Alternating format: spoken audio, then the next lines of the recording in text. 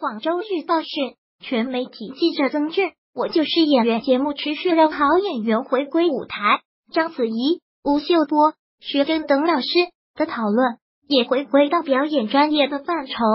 但最新一期中呈现的中年女演员无戏可拍的问题，在行业内外引起热议。上周六晚播出的最新一期中，王苑可、杨蓉、兰心三人合作后宫又图讲述新生时，在《延禧攻略》以神的一角而家喻户晓的王苑可透露，在很长一段时间里接不到戏，我都快要放弃做演员了，在想要不要做别的什么职业。每当我看到自己很喜欢的戏剧片段时，我就演给镜子看。很多次我都在犹豫，要不要给曾经认识的导演、制片人打电话，告诉他们我可以从零开始。就在这个时候，于正给我打电话，有了纯飞这个角色，来到了属于演员的舞台。所以我想告诉那些和我一样的演员，只要你坚持自己做的事情，就一定可以找到属于自己的位置。杨蓉则表示，自己很久没有演古装戏了，这次上节目是想突破自己。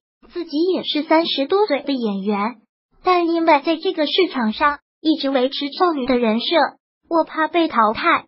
导演、制片人们请多给三十岁、四十多岁的女演员一些机会。拉希则在《甄嬛传》成名之后结婚生子，在热度过去了以后。他也同样面临着无戏可拍的窘境。对此，一众导师都对中年女演员的行业困境深有同感。章子怡更是为他们的勇气和坦诚点赞。薛峥也认为，确实大多数演员都在挣扎，机会很少。也有人指出，面临相似境况的演员也需要调整好心态，不忘磨练自己。